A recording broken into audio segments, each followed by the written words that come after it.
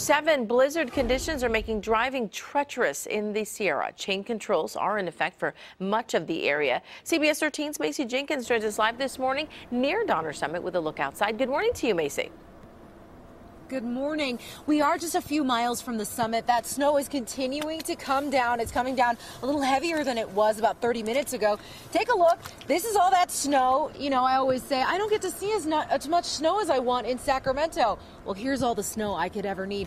Take a look at this slush. Walk with me. This is what is covering I-80 and all the roads in this area right now. You don't get a lot of traction when you see this snow.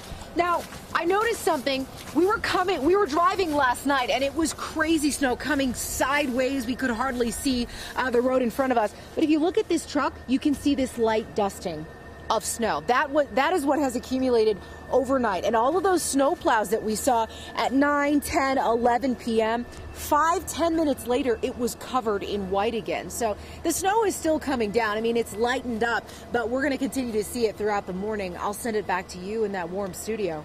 Yeah. yes, it is warm in here. All right, Macy, we appreciate your reports this morning. Thank you. Time now is 6.08. The partial government shutdown.